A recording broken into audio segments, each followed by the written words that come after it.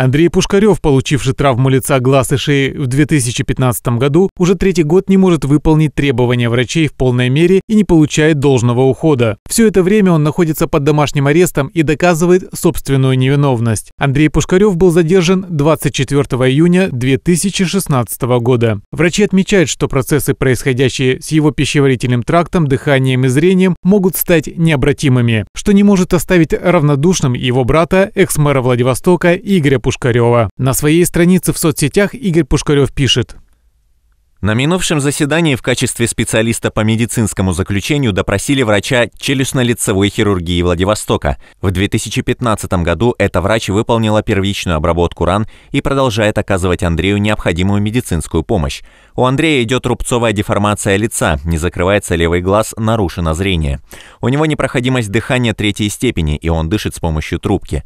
Пьет он с помощью шприца, глотать не может, функция пищеварения нарушена. Дефицит витамина D и нехватка солнца влияют на эндокринную и сердечно-сосудистую системы.